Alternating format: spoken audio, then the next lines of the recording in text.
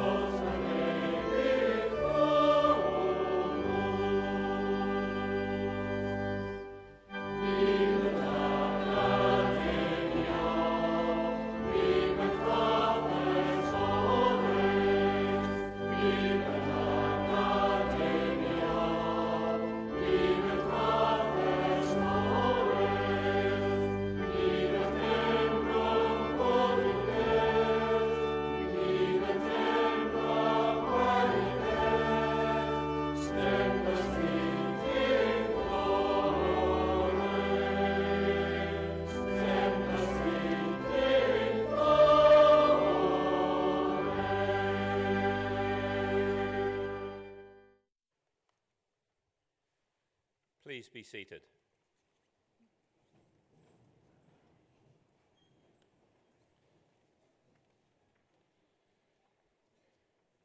Eina waka, eina mono whakahi, eina taiwha, tēnei koutou katoa. Kia orana, talofa lava, malo e leo mali, fakaalofa lahi atu. Talohani, whakatalofa atu. Nisabula, Nimenhau, Namaste, Mahaba. A very warm welcome to this, your ceremony, one of three here in Palmerston North today that complete our graduations for the year. My name is Chris Kelly. I'm a very proud Massey graduate and I've served on the University Council since 2005 and as Chancellor for the last year. At today's ceremonies, we have a total of 393 graduating 39 of whom will have the qualification, the highest qualification this university offers, a doctoral degree. At this ceremony, we have 134 graduates, 26 master's recipients, and 16 doctorates, all from either the College of Health or the College of Humanities and Social Sciences. By the end of this year, Massey University will, will have produced a total of 6,000 295 new graduates, bringing our total alumni family around the world to more than 126,000. Graduation Day is a day of celebration, an opportunity for the university and you, your whānau, your family, your friends, to recognise your hard work and success. Technology now makes it easier to share your big day with a wider audience. All our ceremonies are streamed live on the internet, and there is a link on the Massey University homepage, which I'm sure many of the more technologically minded of you in today's audience will have already located. Please feel free to text, tweet, or email the link to anyone you know who was unable to attend today. It will be a permanent record of what I'm sure for many of you will be amongst one of your proudest moments. And while talking of recognition, it's important that you remember to thank all those people who have backed you and contributed to your success during your studies your family, your friends, and of course the faculty and support staff of the university. To ensure you don't forget, I would like you to join me in acknowledging them now.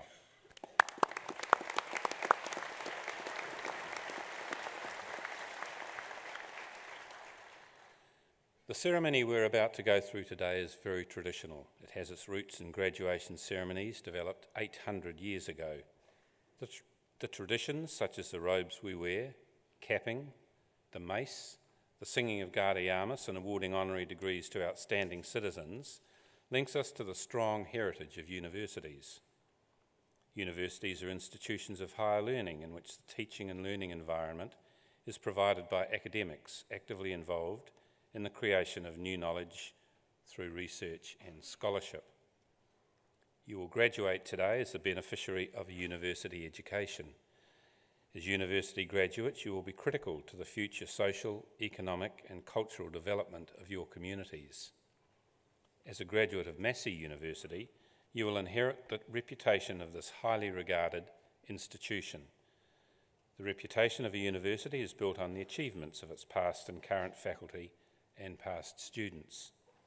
Evidence of the achievements of our faculty and, uh, and alumni, like Sir Richard Taylor, Kate Sylvester, and Sir Graham Henry, to mention a few, is all around us. We pride ourselves on producing people who put New Zealand on the global map for its innovation, creativity, research, and teaching. And we celebrate all our can do graduates who get out there and make a difference. And it's this performance track that allows us to rightly claim to be the engine that will drive the new New Zealand. The number of accolades, awards, prizes, and other recognitions received this last year by our current students and faculty indicates our track record will continue to grow. The university is a major New Zealand business with a turnover of more than $400 million per year and is a very significant employer in the three regions in which it has a presence. The management is led by the Vice Chancellor, who is the equivalent of the Chief Executive Officer. Governance is the responsibility of the University Council, consisting of a mix of appointees, members elected by students, staff, and our large alumni body of close to 130,000 graduates, and many others who have worked as staff in the university. You may be aware that the government has plans to reduce the size of all university councils to a maximum of 12 members on the grounds that this will result in greater commercial focus, faster and better decision making. However, in my view, a university is much more than just a business. For example, its prices are controlled by the government's fee setting regulations. A university has social responsibilities to its students, to its staff, and to advance learning to society as a whole. Its range of stakeholders are much wider than a company's, and therefore demands a wider representation. Going forward, we must ensure that we retain diversity on this university's governing body. It's important on these occasions to celebrate some of Massey's successes. We have a firm eye on the future and this year launched our updated strategy called Shaping the Nation and Taking the Best to the World. The short title is The Road to 2025 the major shift is to push out our time horizon to just over a decade from now and put in place our responses to forces that drive not only Massey's future but New Zealand's, things like globalisation, technology enabled learning, population diversity, partnerships with other organisations around the world, and of course the growth of our largest city, Auckland. Earlier this year, our Vice Chancellor, the Honourable Steve Maharey, visited China a visit that coincided with that of a delegation led by the Prime Minister. We have a strong commitment to growing our opportunities in the international arena, and our expertise in agri food in particular creates enormous potential for growth in Asia. Last week, as many of you will be aware, President, China's President Xi Jinping visited New Zealand along with his wife, China's First Lady, Madam Peng Liyuan. At a special graduation ceremony on our campus in Wellington on Thursday, Massey confirmed upon Madam Peng an honorary doctor in, doctorate in literature. And Massey's long standing and close connections with China and its universities, government bodies, through our students, staff, and alumni will be permanently strengthened by that further association. One of the advantages Massey has in its globalisation uh, agenda is that we're a diverse university with a broad range of strengths. There are many compatibilities in those areas of strength, such as in design and in arts. Agriculture, in which we are now ranked 19th in the world, an outstanding achievement in my view, is underpinned by science and food production, which remains New Zealand's biggest business. And this in turn links to nutrition and health, both human and animal. Our diversity in campuses and modes of learning gives students options that other providers are unable to offer. In Manawatu, our original and largest campus, we have several major construction projects underway. These include restoration and seismic strengthening of the Sir Geoffrey Peren building, part of the $58 million heritage restoration and Hokowhitu relocation project, and a $75 million upgrade and expansion of the veterinary complex, which will enable us to graduate up to 40 additional vets from one of our signature programs. We also have exciting plans for the future development of the Food HQ Super Campus in partnership with several neighbouring research organisations. Many of you will be aware that 2014 marks 50 years since Massey became a university. Our roots, however, as an agricultural college date back to 1927 and through our design school in Wellington to the 19th century. This year also marks 50 years of our groundbreaking and world leading food technology program. The faculty was formed to build on Massey's reputation as an institution that supported the primary industries, turning great ingredients into world leading exports. When Massey's Bachelor of Food Technology degree was introduced in 1964, it was a first for New Zealand. Today, this innovative degree continues to ensure Massey leads New Zealand in the education of food technologists. Currently, we, we face some challenges with the softening enrolments being felt across the sector, but we have been given an opportunity to grow by the Tertiary Education Commission next year, and we need to ensure that we enrol those additional students. And it's important that young people recognise the value of ongoing learning and tertiary qualifications in a world where the nature of employment and the types of jobs people do is changing rapidly. That means that those who succeed will be those who have learned how to learn, how to adopt, and how to adapt. Congratulations to all of you who have taken up the challenge to be where you are today. You will graduate proud of your achievement, but also honoured by the reputational mantle that you have inherited. I challenge you to go forth as Massey alumni to make your own contribution, to grow your own reputation, and in doing so, add further to the proud heritage that you are now part of. As part of your journey, we anticipate many of you will come back to us as you face the never ending quest to keep your skills and knowledge up to date. You can be assured that Massey will be there to meet that need, whether it be through a course of full time study or part time through our world class distance learning program. Finally, I would urge you to stay connected to your alma mater and your university family through our active alumni association. Congratulations, continue to work hard and enjoy yourselves. Tēnā koutou, tēnā koutou, tēnā koutou katoa.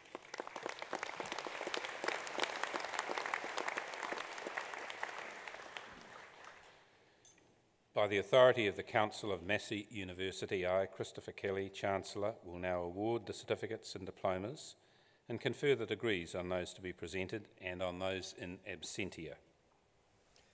Chancellor, the Professor of Nursing will present to you graduates and recipients of certificates, diplomas and degrees in the College of Health.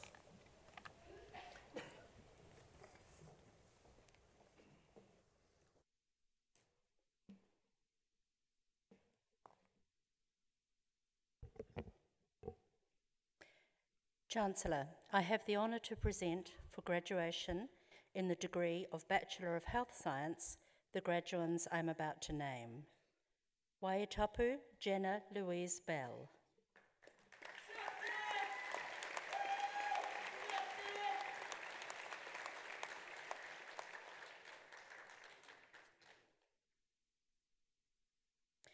Julian Francis Hugh Chisholm.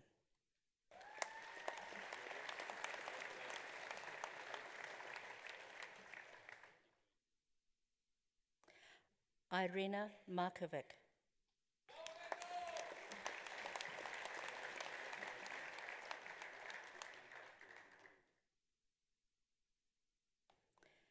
Jacqueline Marie Martin.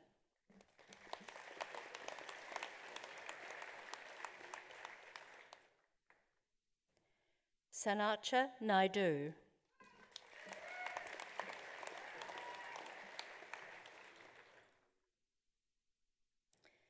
Stacey Ann Robinson.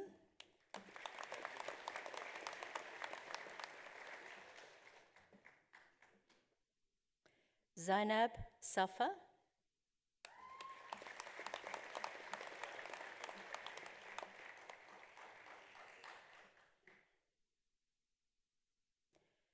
Erina Pacheta Tone.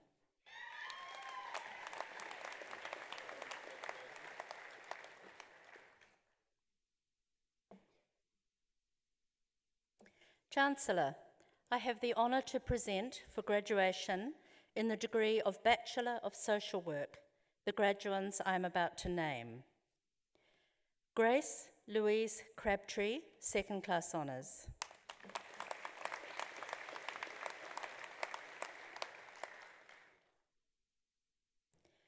Melissa Alice Fieldsend, second class honours.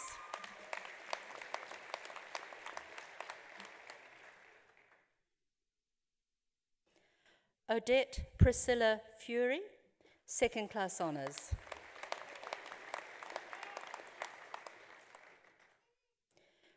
John Anthony Gauchi, first class honours, Massey Scholar.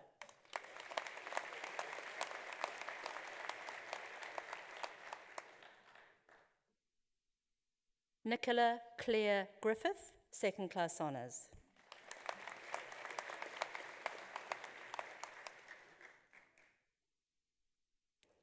Wendy Madge Rattray, second class honours.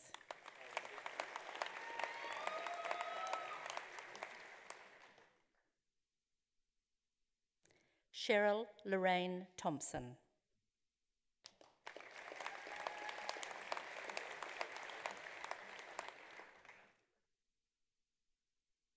Chancellor, I have the honour to present for graduation in the degree of Bachelor of Sport Exercise the graduands I am about to name. Yvette Britz.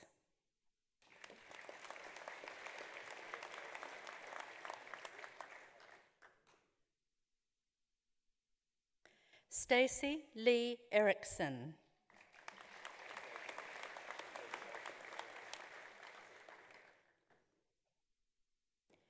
Warwick David Esler.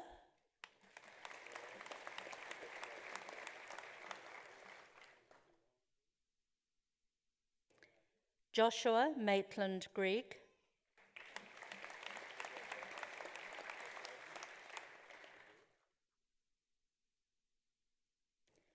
Jamie Louise Lampard.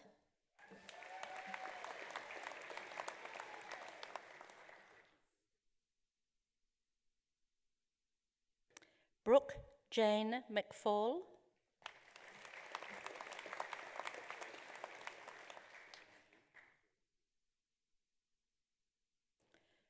Robert Mackenzie Power.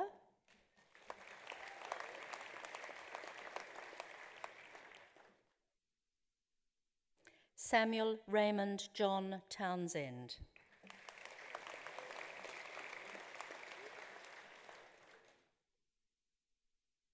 Chancellor, I have the honour to present for the postgraduate diploma in public health the candidate I am about to name. Catherine Mary Morton with merit.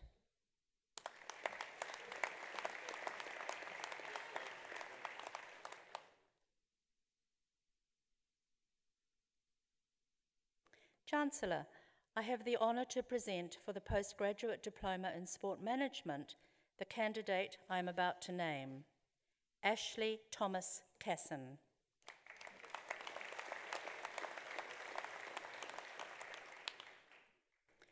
Chancellor, I have the honour to present for graduation in the degree of Master of Public Health the graduand I am about to name, Caroline Sarah Fife with merit.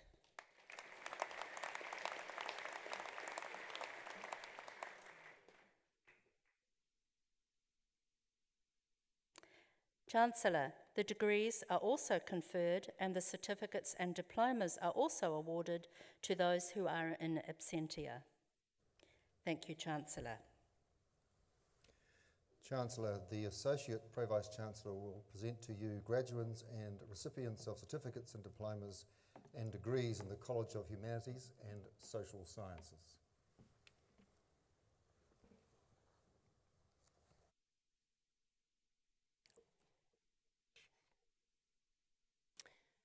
Chancellor, I have the honour to present for the Certificate in Arts the candidate I'm about to name Andrew John Patrick Crozier.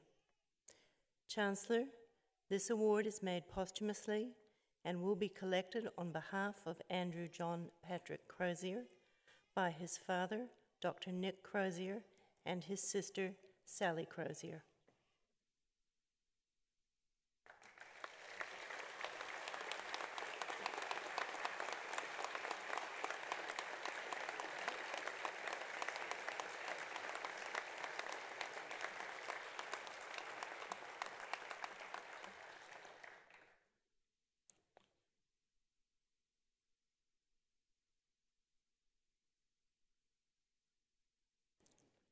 Chancellor, I have the honor to present for the Diploma in Arts the candidates I'm about to name. Valentin Antonio Faro Gomez.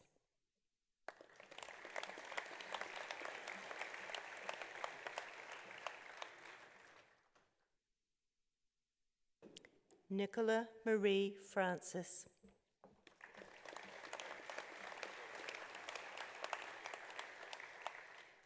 Mara Joy Valencia Roque.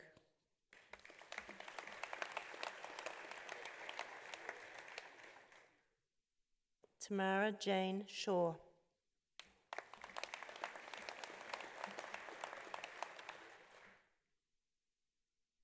Graham Charles Walker.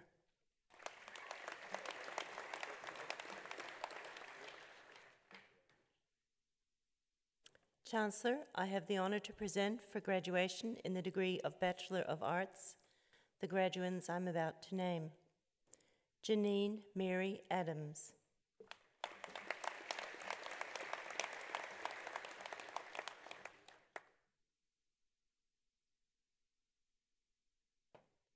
Haley Louise Anderson.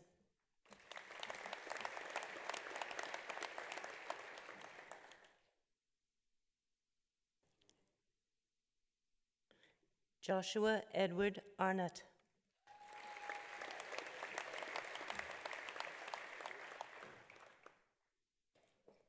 Brittany Sky Boyd.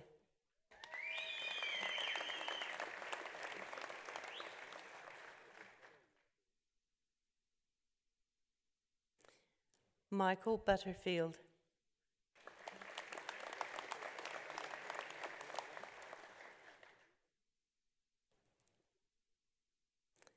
Nicola Gwen Coburn.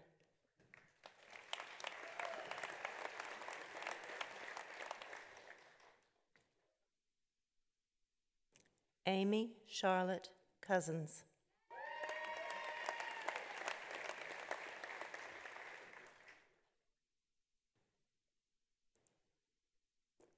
Mark Fotheringham Creedy.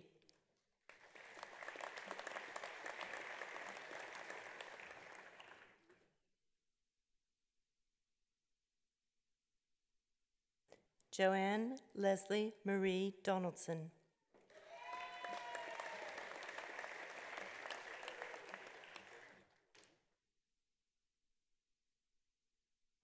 Brogan Joy Dunce.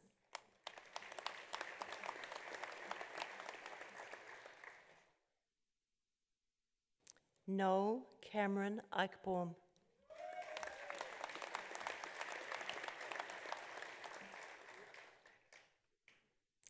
Susan Rachel Fuller.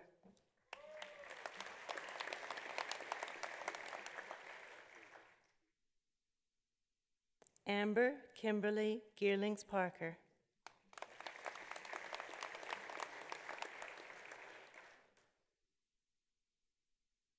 Kayla Renee Gray.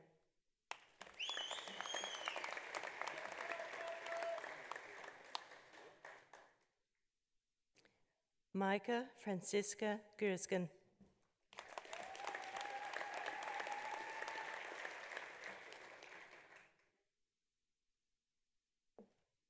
Alan Earl Harvey.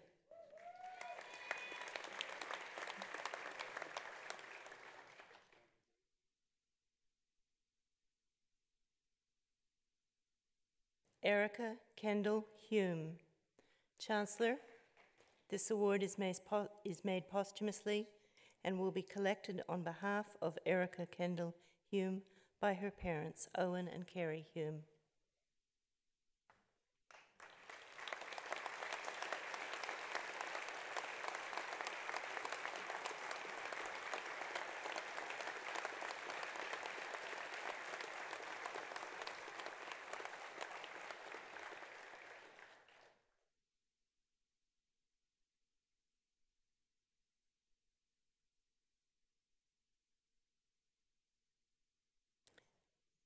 Abby Renee Lawrence.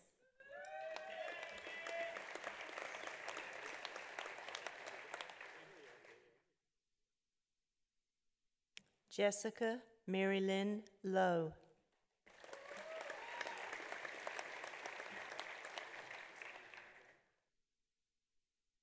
Scott John McDonald.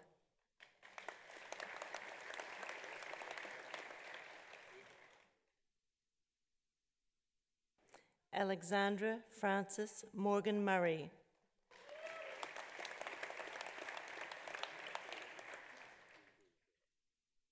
Orphe Gyri Moitis Michelad.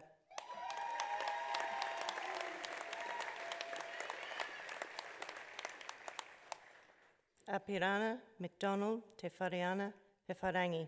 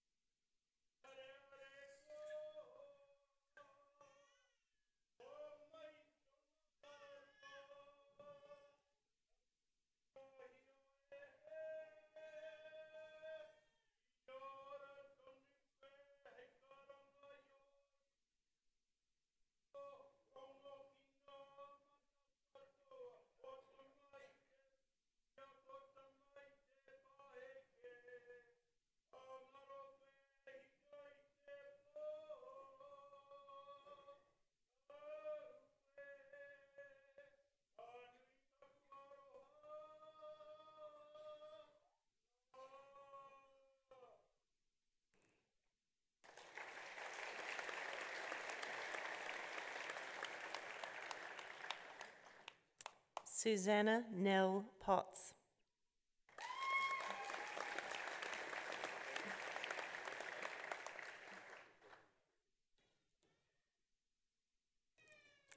Jerome Richard Pula.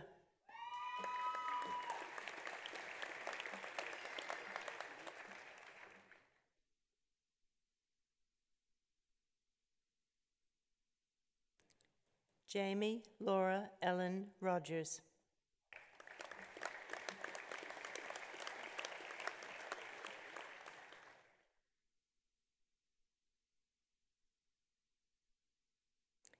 Miriam Verena Schroeter.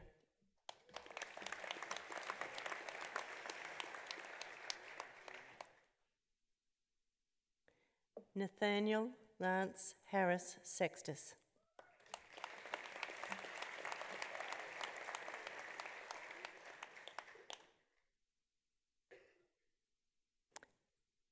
Grayson John Martin Skirman.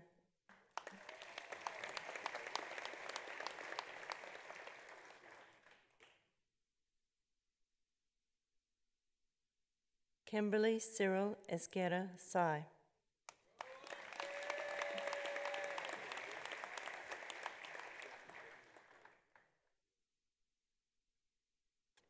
Brady C. Rhiannon Wariner,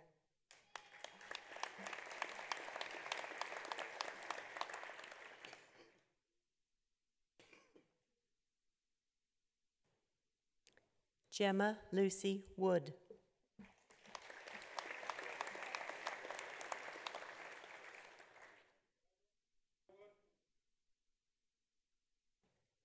Vanessa Ann Wooler.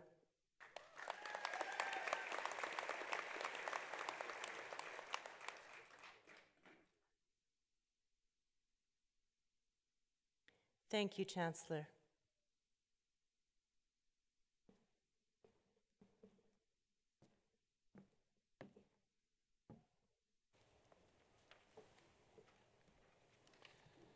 It is now my great pleasure to invite Ms. Glenys Philip Barbara, Associate Deputy, Chief Executive of Child, Youth and Family and previously Chief Executive of the Maori Language Commission, to address the graduands.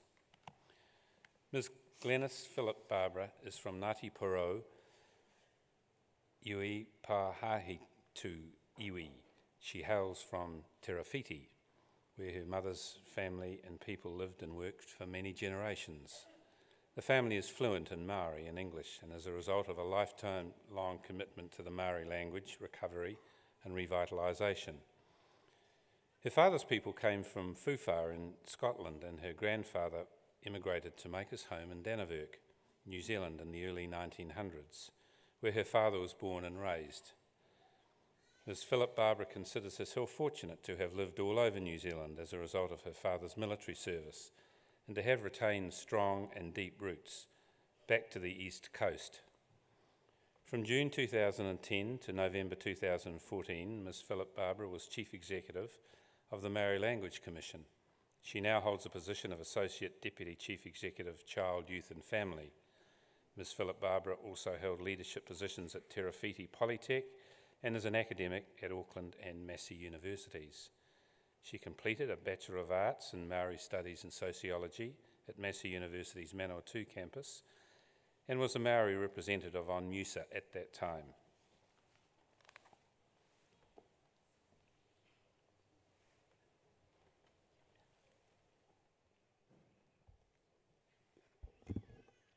e ngā mana, e ngā reo, e ngā kārangaranga maha, kia koutou rangi tāne iwi, o tira ngā kaitiaki o tēnei whenua nui, tēnā rā koutou katoa. Koutou ngā mate kua haere, haere. Karere ngā mihi kia koutou, te whānau o Andrew Crozier, te whānau huki o Erica Home, tēnā rā koutou. Kāore e kore, kua puta mai te pauritanga i tēnei wā tonu, engari he whiwhinga nui tonu ki tā koutou tamariki. Nō reira, kanui te aroha. Karere hoki ngā mihi kia koutou, ngā ringa whakahaere o te wharewānanga nei, tēnā rā koutou i te rangi, i tēnei wā. Kei te huri aku mihi kia koutou te whānau ata kua hua te tahi o ngā puti puti o te whakatupuranga rua mano i tēnei rangi tonu. Petina, petina kai hea koe. Ah, ka anui te mihi kia koe te tuahine. No tātou katoa te whiwhi i tō koutou mahi nui, kua, kua tau ki uta te reo i tēnei rangi tonu, tēnā rā koe te tuahine. O tira kia koutou, ngā ika āwhiro, kua tau mai tēnei rangi nui, tēnā rā koutou katoa. And it's okay, I am bilingual, so I'll switch over and switch back and we'll just keep it, keep it moving along. Look, I'm really pleased to be standing before you today as a proud graduate of Massey University. Like you, I wobbled across the stage in about 1997, I think, worried about whether or not I'd make it across in one piece, in my lovely heels, my new dress, and my brand new robes. And I remember that feeling very well. And so today, uh, as I move around and work in different places of interest to me, I have, a, I have a practice that I consider to be important. When Massey calls, I come. That is my commitment to this place. That is my commitment to all that this university has invested in me and my whānau. Nō reira, nōku te whiwhi, te kōrero, kai mui o koutou aro aro. And look, it's occasions like this that remind us the blood, the sweat, the tears, the two minute noodles, and all of those things that we endure as students, annoying our families, endless assignments, endless piles of reading, hours in the library. It's on days like this that we can truly say that it's been worth it. Because, of course, days like these are not for us alone. Days like these are to be shared with our family, with our friends, and with all of those people who have stood beside us all throughout the journey. And it's really important that you, you graduates today, you realise that those of us who work and toil away in the corridors of Wellington, you are the ones we wait for. We feverishly scan the pages of the graduation profiles, looking for fresh, I wasn't going to say meat actually, uh, looking for fresh ideas, for new recruits, for new ideas, for for ways of thinking and being in the public sector that are new, bold, innovative, and exciting. So do know that there is much to be gained from us in Wellington, from your, your culture, your energy, your vigour, and your vitality. You are, in fact, our hope for the future. And while you might be just thinking about your job prospects right now, Maybe you're employed, maybe you're not, maybe you're still looking. Maybe you're thinking about a big holiday. Most likely you're thinking about a big party, or maybe a big dinner, or maybe that's planned for straight after this. What I want to do this afternoon is encourage you to think really broadly about the possibilities that stretch out in front of you now that you've achieved your degree.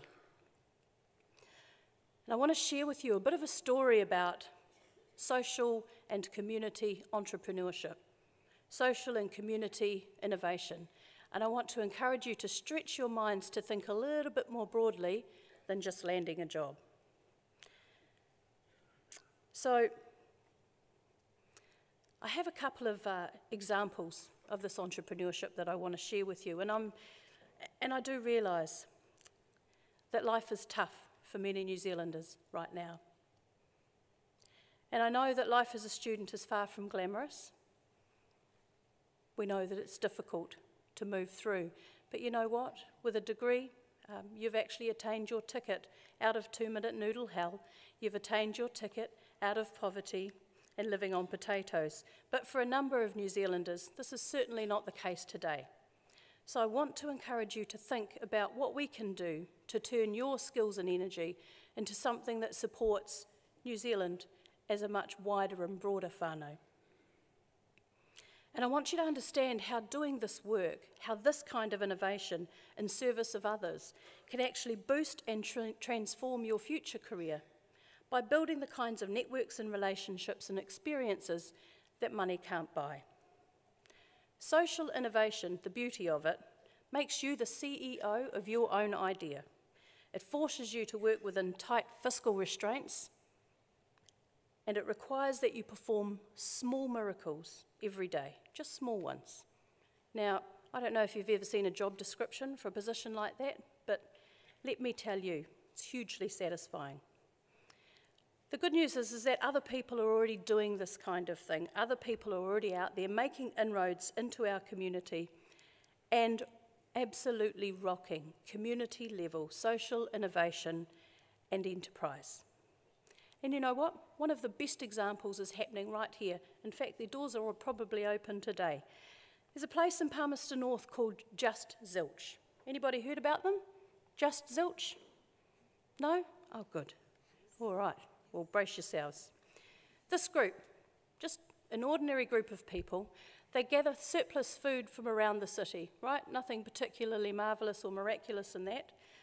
They gather surplus food from around the city and they've occupied a little gull service station, with permission, of course, they've occupied this space.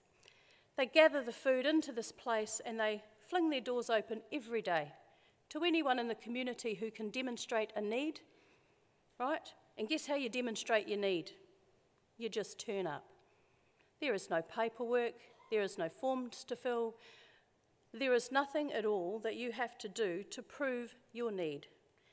Simply put, this group collects our surplus as a community and provides it to people with a need. Now, the best thing about a place like this is that when you find yourself a bit short, there's no judgment and there's no attitude when you arrive at the door. You're simply invited in, you gather what you need, you take it home, you feed your family, and you move on. And I tell you what, rather than ignore perfectly good surplus in our community, these people are putting it to good use. These entrepreneurs have been running this initiative for a number of years now. They do it quietly, they do it out of the public eye, and they get on with it. And one of the most stunning features of this is that it is, quite frankly, the most simple idea in the world. Take surplus redistribute it to people in need. And for many families, it makes the difference, quite literally, between eating and not eating on some days. And so, this brilliant concept inspired a group of friends in Wellington to take action and do something similar. So, there's a group called Rauaroha that gathers surplus non perishable goods and redistributes them to communities in need. But this group decided that rather than face the potential overhead cost of setting up in a permanent residence, they've developed the concept of pop up shops. Now, you would see them at Christmas time, wouldn't you, popping up all over the town. So they gather the surplus, they establish a pop up shop in a community of need. People come in, they move through, they gather what they need to clothe their children, to put blankets on their beds, to put shoes on their feet, and they move off again. Again, this focus on the redistribution of existing surplus makes the pop up shop a place where people get to maintain their dignity, despite the fact that they have needs. The group gathers stuff, people's stuff, you know, the stuff that's in our garage, the stuff that's in our wardrobes, clogging up space, those 20 spare pairs of shoes that are sitting out the back somewhere. They gather it all up and take it into communities. The other thing that this group has been doing is developing relationships with schools. Now, I don't know how many of you have been to a school fair or a school gala lately, but have you seen the piles of stuff left over after a white elephant or a book sale? Right? This group gathers it all up, gets it into the community. Now, the group was in Hutt Valley last weekend, and I can tell you what, that space, for that one day, it was absolutely rocking. To be quite frank, the group had no idea how the concept might or might not work in Wellington. And the group responsible had made sure that everything that was in the shop was of absolute high quality. I mean, just because uh, you have needs doesn't mean you ought to accept that people might give you rubbish, right? Fair enough?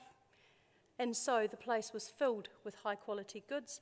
The people, they came all day long. And I can confirm, uh, because I was there, there were a number of people, in fact, most of the people who arrived on the day had an empty puku as well so needed a kai. And guess what? There were boys out the back on the sausage sizzle doing the Kiwi thing, cooking up the sausages, wrapping them in a bread, and rolling them out for the people coming into, into the shop. Now, the people who came to the store, they came, they gathered, they had a kai, and they left, and were a lot better off and a lot happier for it. Now, the beauty of this model is that it has no operating overheads, well, at least none that are borne by the people running the shop.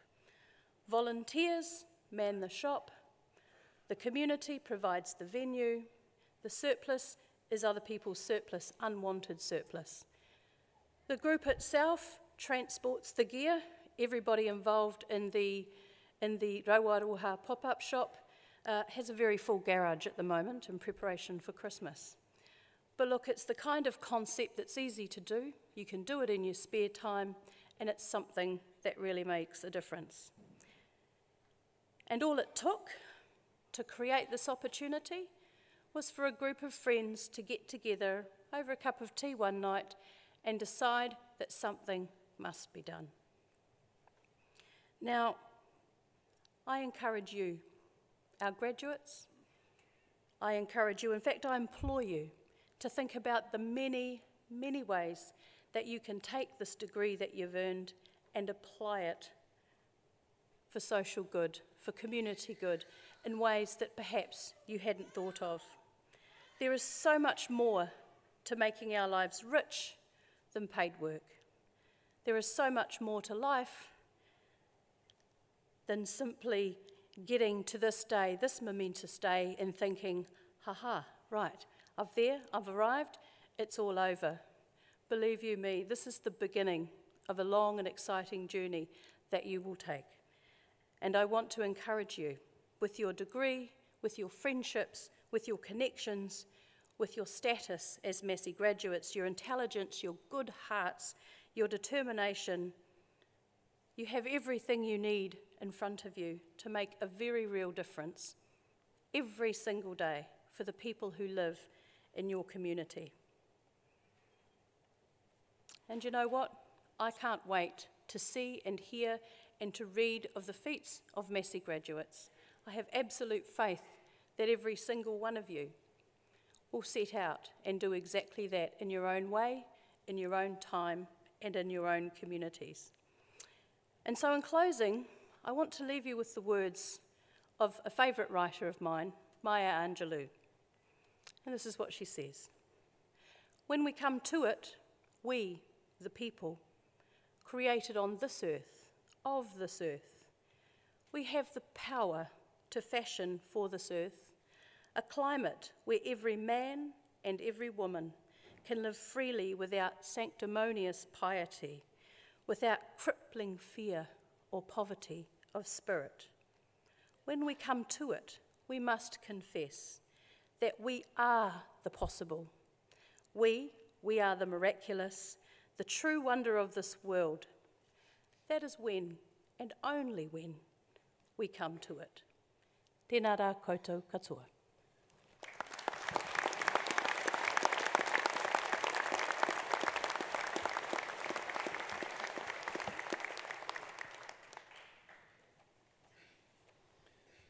Thank you, Ms. Philip Barbara. Uh, as you said, graduates, your journey is not over, it has just started. We will now proceed with the conferment of degrees and the award of university certificates and diplomas.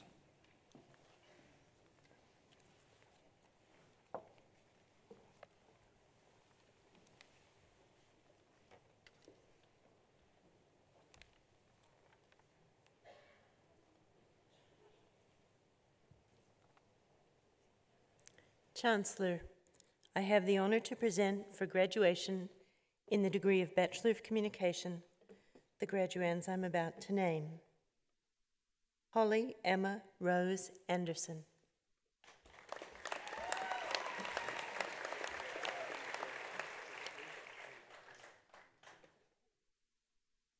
Sarah Anna McMillan Leotow.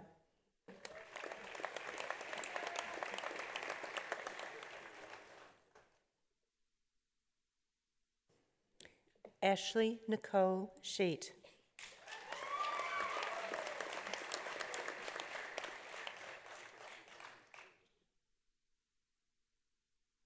Chancellor, I have the honour to present for graduation in the degree of Bachelor of Education the graduands I'm about to name. Florida Puatoa Lukitau.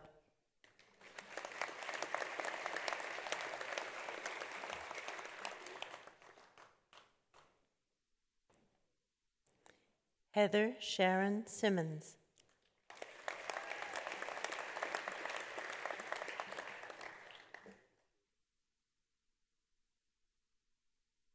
Jill Ann Southern.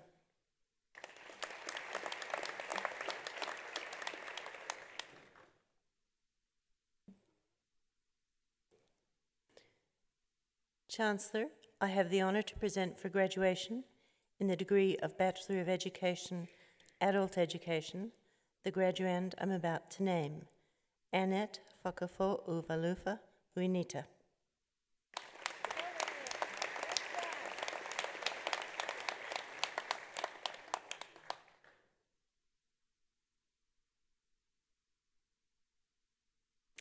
Chancellor, I have the honor to present for graduation in the degree of Bachelor of Education, Teaching Primary, and the Diploma in Education Studies the graduands I'm about to name. Araha Doreen Kale.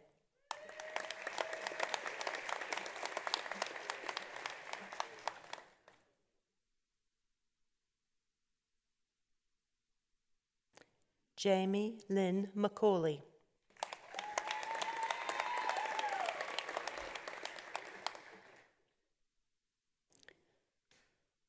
Chancellor, I have the honor to present for graduation in the degree of Bachelor of Speech and Language Therapy the graduand I'm about to name, Shadira Tanya Este Miranda.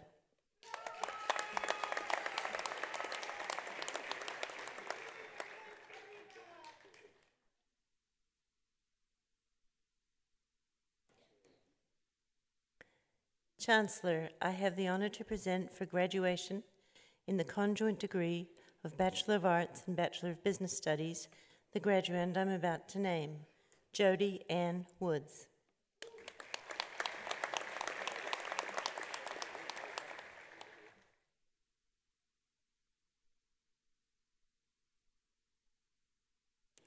Chancellor, I have the honor to present for graduation in the conjoint degree of Bachelor of Arts and Bachelor of Science the graduand I'm about to name, Jessica Grace Scott Richards.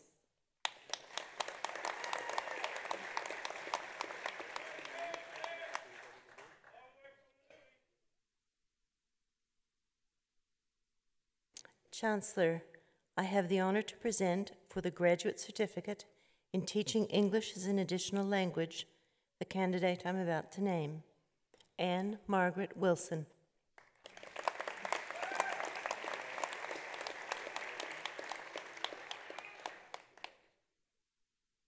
Chancellor, I have the honor to present for the Graduate Diploma in Arts the candidate I'm about to name, Heidi Carlene Thompson.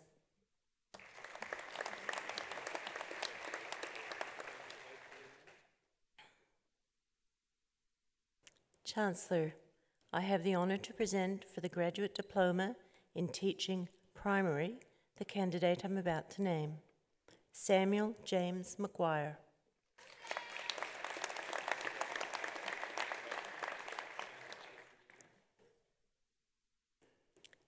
Chancellor, I have the honor to present for the Graduate Diploma in Teaching Secondary the candidates I'm about to name, Rebecca Amy Jack.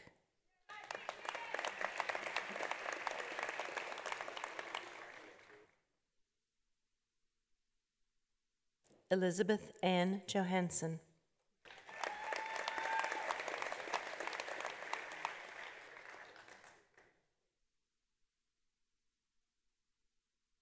Chancellor, I have the honor to present for the postgraduate diploma in development studies the candidate I'm about to name, David John Tattersfield.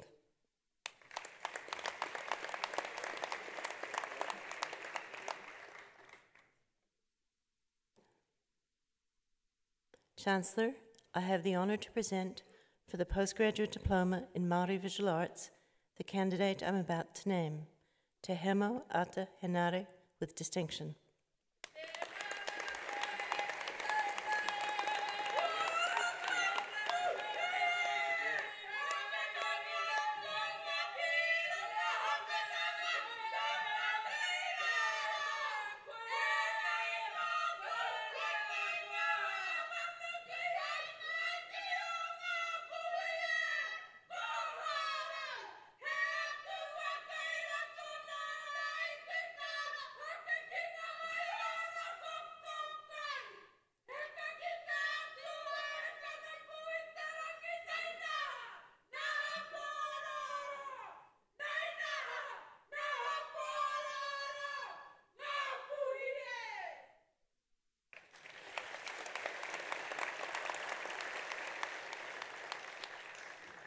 Chancellor, I have the honour to present for graduation in the degree of Master of Arts the graduates I'm about to name.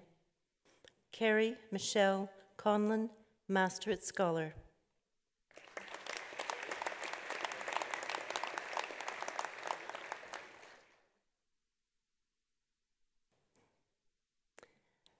Malcolm Stewart Davy, Second Class Honours.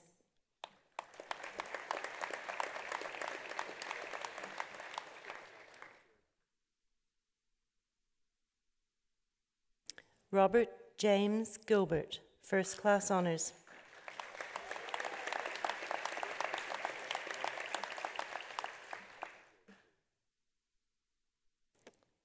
Philip Rowley Lascelles, first class honours.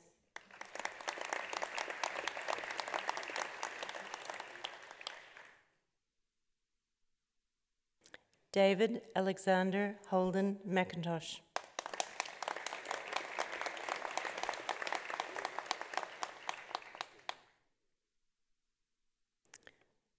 Laura Ann Pascal, second class honours.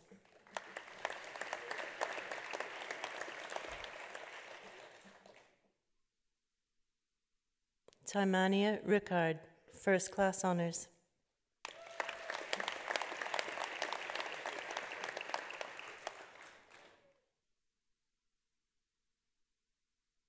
Niniwa Short with merit.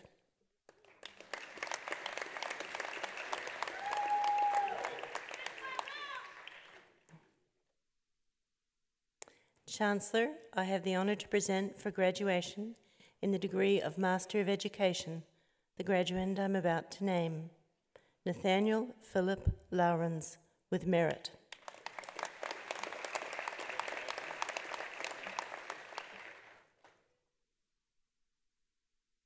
Chancellor, I have the honour to present for graduation in the degree of Master of International Development the graduands I'm about to name. Virginia Claire Adams, with distinction.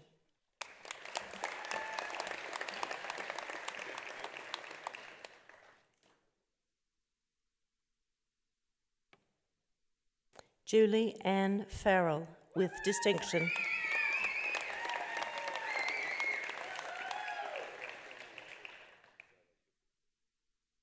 Chancellor, I have the honour to present for graduation in the degree of Master of International Security the graduands I'm about to name. Philippa Louise Barrett.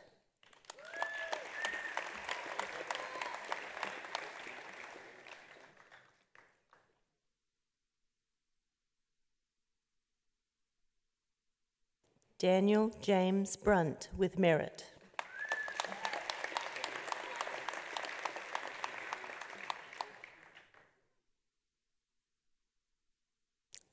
Zoe Joanne Chadwick with merit.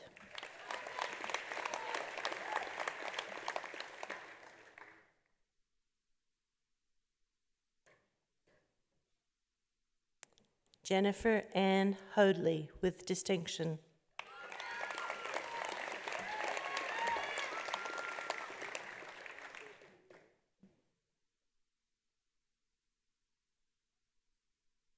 Peter Andrew Olds with merit.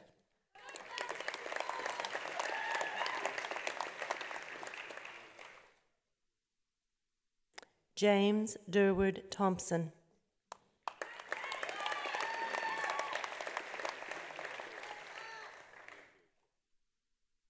Tracy Tibbs with merit.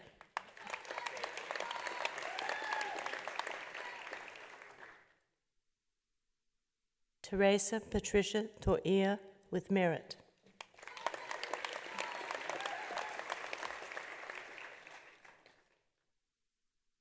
Chancellor, I have the honor to present for graduation in the degree of Master of Resource and Environmental Planning the graduands I'm about to name. Alice Mary Naylor.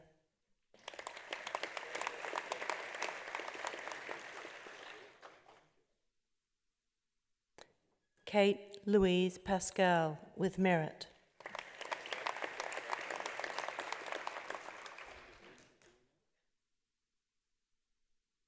Haley Marie Thomas, second class honours.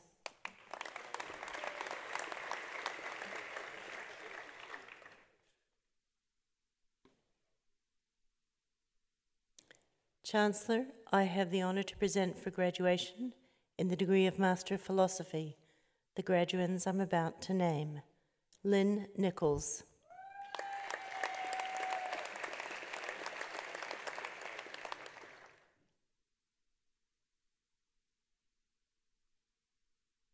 Mary Stevens.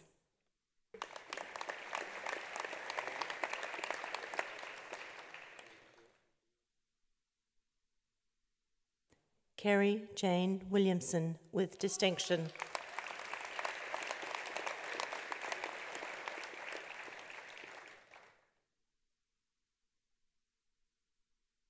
Chancellor, the degrees are also conferred and the certificates and diplomas are also awarded to those who are listed in absentia. Thank you, Chancellor.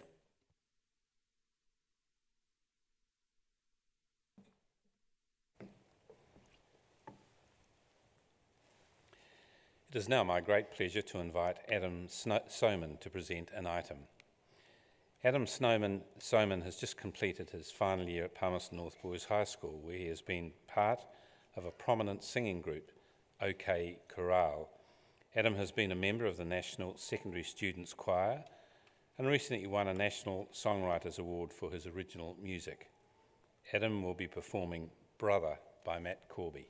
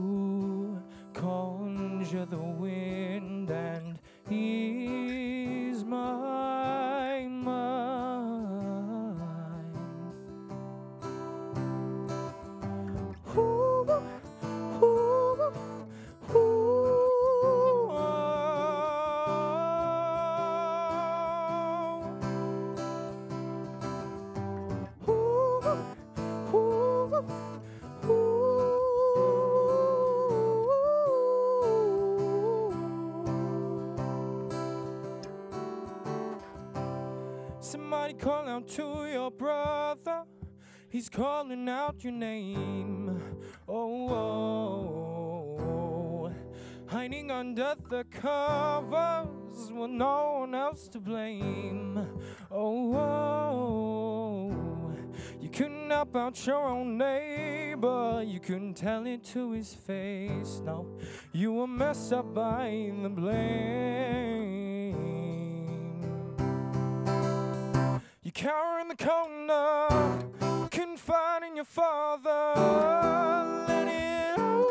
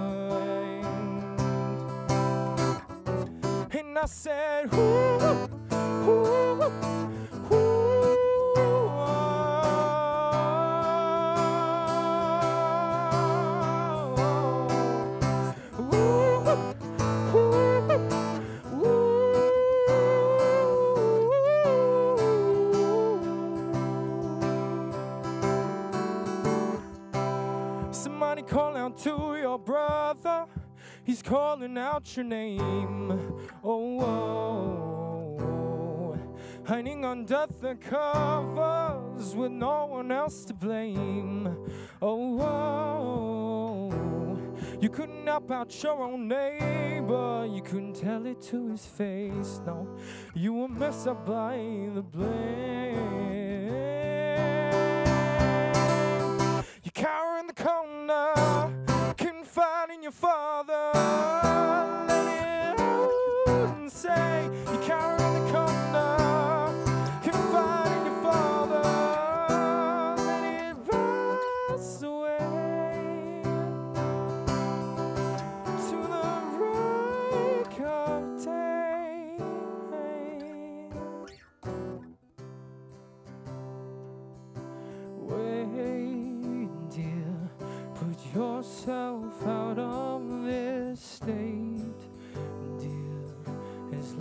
as you want to as long as you wait, it isn't over. Oh,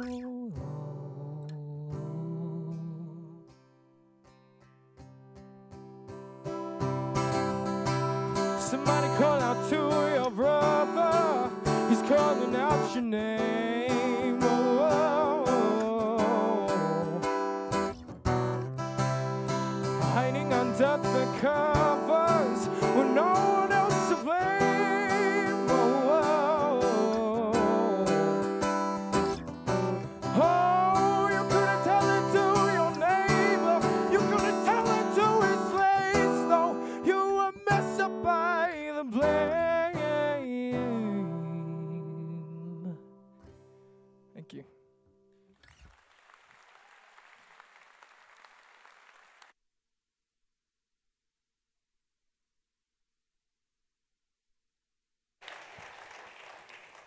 Thank you, Adam, for your item and all the best for the future. We will now proceed with the conferment of degrees and the award of university certificates and diplomas.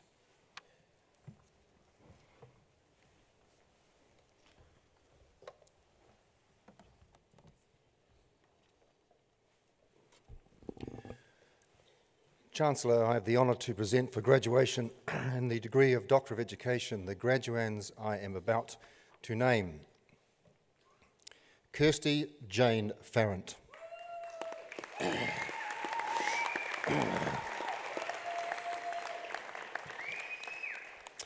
Ms. Farrant used self study as a methodology for reflecting on her teaching and developed a framework for her classroom practices.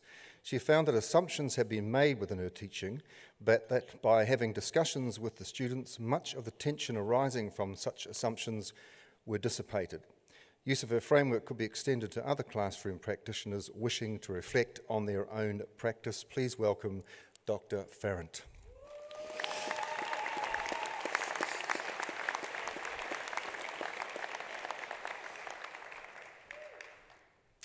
Jane Elizabeth Hardcastle, née Wellacott.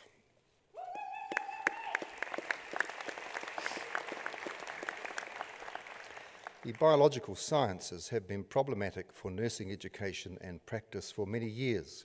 Ms. Hardcastle explored teaching and learning experiences of 10 New Zealand nursing lecturers to identify factors that influence their preparedness with bioscience integration when teaching nurses. She found that participants' perceptions of the value of biosciences underpin their preparedness and the way they evaluate learning, teaching, and practice experiences. Dr. Hardcastle.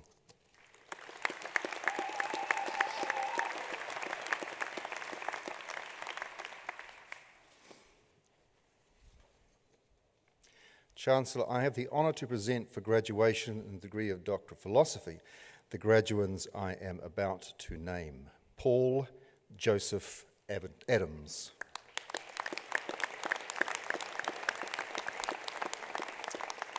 The now legendary 1939 Fraser Beeby Statement on Equality of Educational Opportunity has shaped the nature of education in New Zealand. Mr. Adams found the progressive education that it inspired did not just emerge from an educational vacuum. Instead, it grew from the fertile ground of new education ideas that had blossomed across the country during the interwar years. Dr. Adams.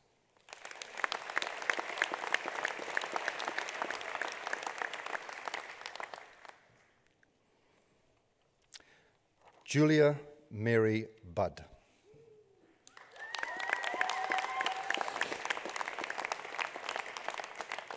New methods are needed to promote cross disciplinary collaboration when studying and developing resolutions to complex real world issues. Ms. Budd developed and evaluated a design based approach to cross disciplinary collaboration when studying inclusion for those with impairments.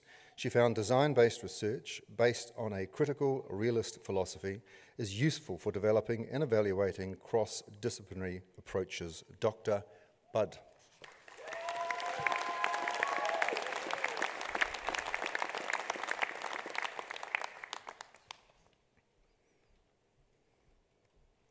Jan Erica Chapman.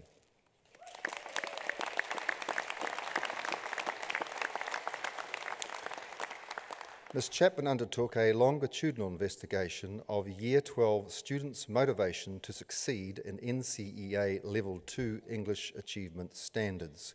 Students identified a variety of factors influencing their motivation to achieve.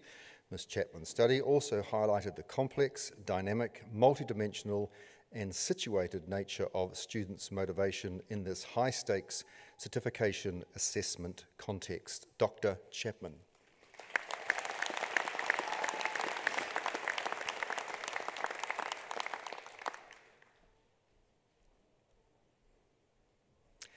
Clifford Dean Harwood.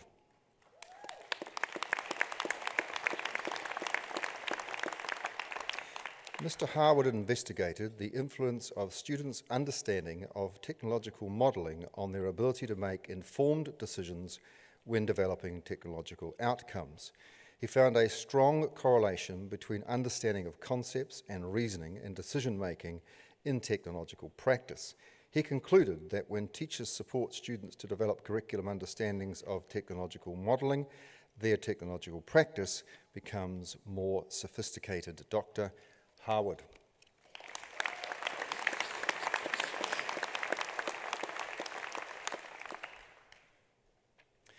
Heather Adele Heron Spears, doctoral scholar.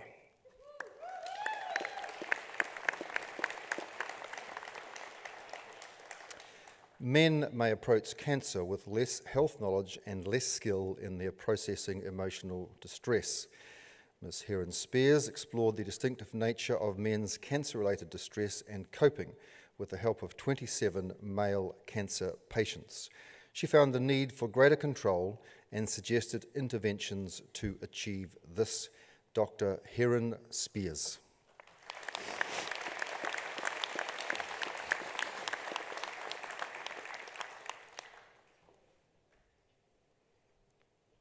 Gets very lonely that bit there, so you can keep clapping if you like to. Marilyn Joyce Innes, doctoral scholar.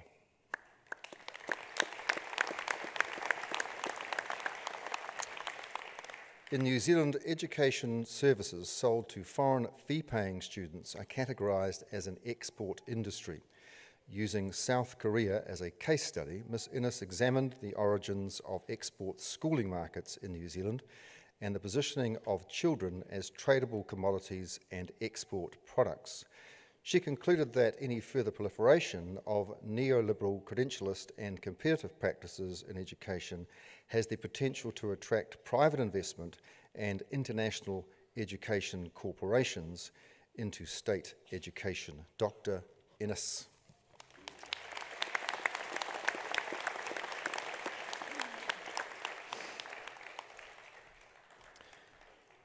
David Osborne.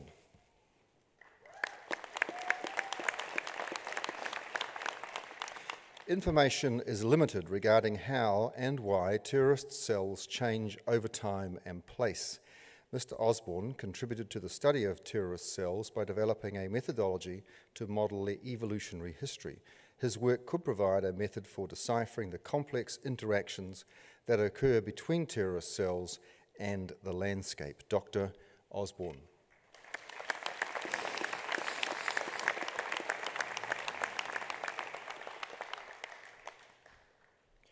Chitinan Pongsuwan.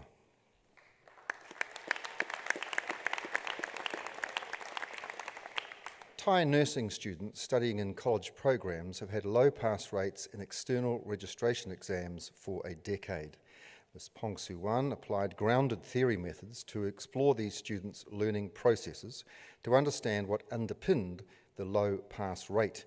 She found that some who transited their learning from meeting their supervisor's expectations to an internal desire to learn demonstrated critical thinking skills and passed exams. Dr. Pongsuwan.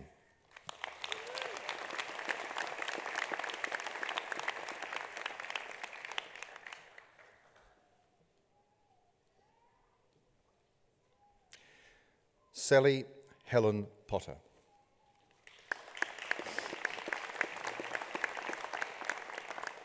volcanic unrest is the key indicator of an impending eruption, which allows warnings to be communicated. Ms. Potter created a world first volcanic unrest index and found that Taupo Volcanic Centre had more frequent unrest than previously recognised. She also developed New Zealand's new volcanic alert level system. Dr.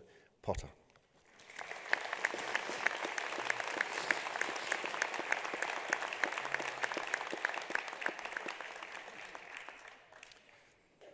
Ayara Pranpravit.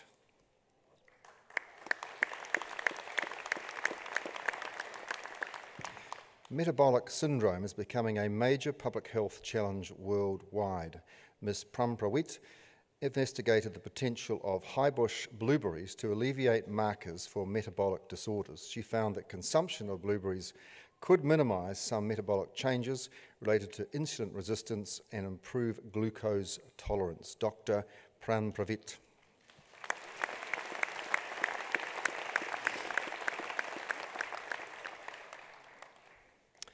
Heather Ruth Robertson.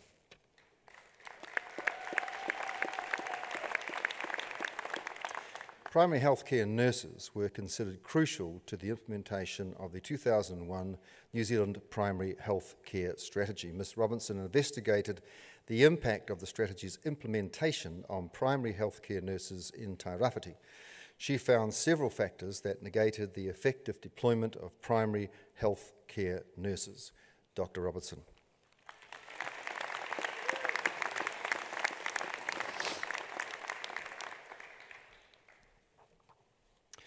Adele Jeanette Scott.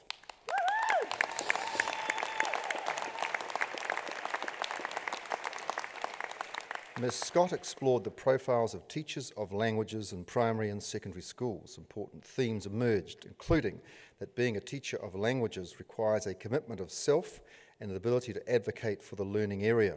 Ms. Scott highlighted the challenges to the role and identified teachers of languages, including their often tenuous position of the languages learning, sorry, of the often tenuous position of the languages learning area in schools. Dr. Scott.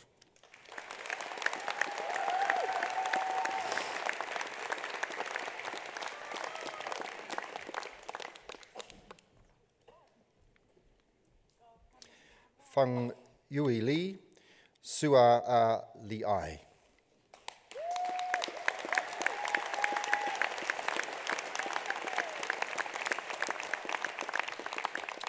The level of student achievement in senior secondary school science in Samoa has been a concern. Mr. Su'a Liai explored the teaching and learning processes that occur in Year 12 chemistry classrooms in Samoa.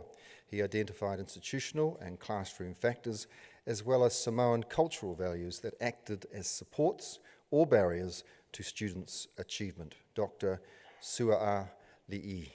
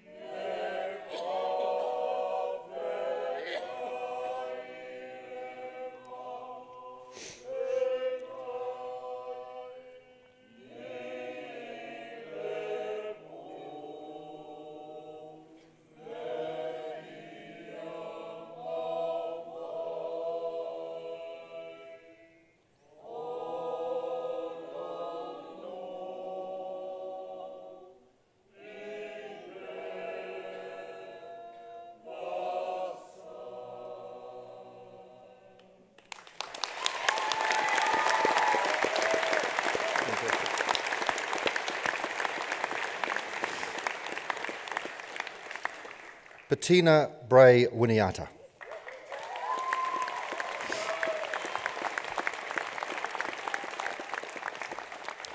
The survival and prosperity of a distinct cultural group is not guaranteed unless something is done by each generation.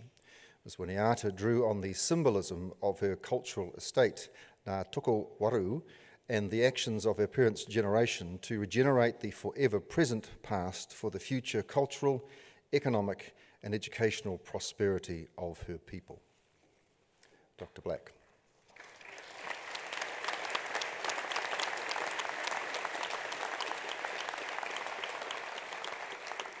uh, Chancellor, Vice Chancellor, uh, academic staff, and the University Council.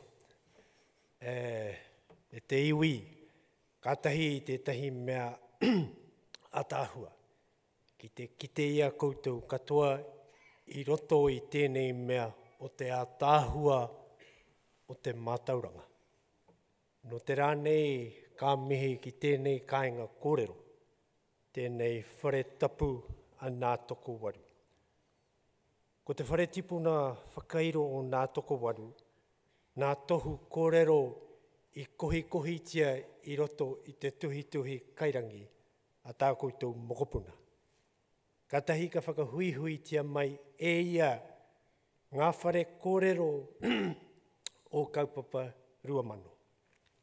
Ka kitea ki roto i anā toko waru, me kaupapa rua mano, te reo me ona tikanga, hei whāngai i ngā whakatipuranga ngā heke o ngā iwi e toru, nā ti tuarangatira, nā ti raukawa, nā ti pare raukawa, me nā whare kōrero katoa o roto i te tonga o raukawa.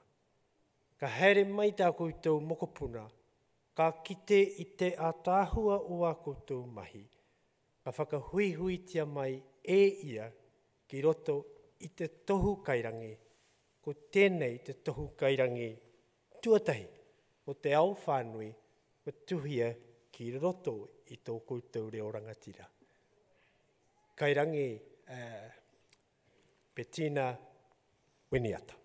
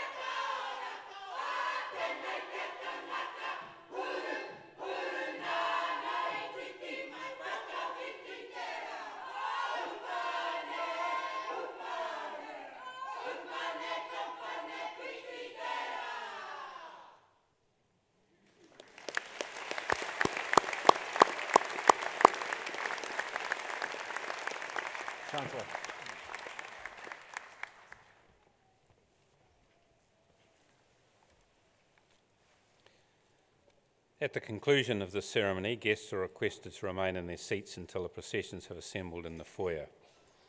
I declare this congregation to be adjourned. Please join with us in singing the national anthem, God Defend New Zealand, led by Andrew Jamison, the words of which are printed on the screen, and we will begin with the Maori version of the anthem. Please stand.